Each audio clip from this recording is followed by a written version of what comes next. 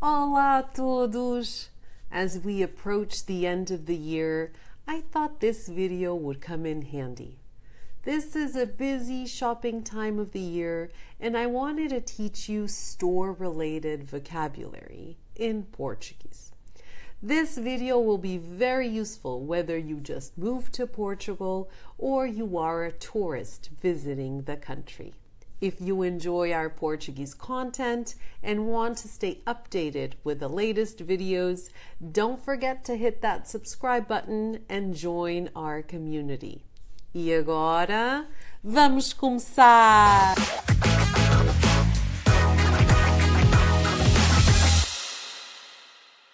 Let's start by covering stores in Portuguese. We call them lojas.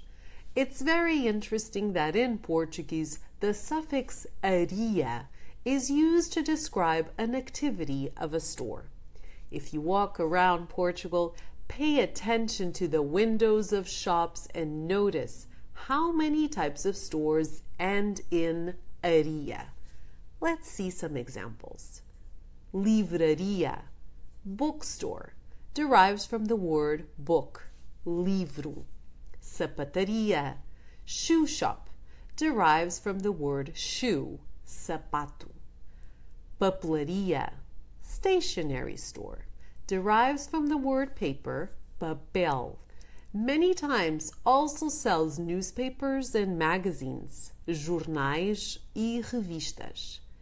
Perfumaria, a perfume store, derives from the word perfume, same word in English ourivesaria or joalharia. Many times you see these two together. Ourivesaria comes from ourives, goldsmith, and joalharia from joia, jewelry. Both are used for jewelry stores. Relojoaria, a watch store, derives from relógio, which in Portuguese can mean both watch and clock. You might also see the ending aria in some service stores like lavanderia that derives from the verb lavar, to wash. This is a laundromat or a dry cleaners. Now let's take a look at food related places. Padaria comes from the word pão, bread, meaning bakery. Pastelaria comes from the word pastel, pastry, meaning pastry shop. Peixaria comes from peixe, fish, meaning fish shop. Frutaria comes from fruta, fruit, meaning fruit shop. This place will probably sell some vegetables as well, vegetais.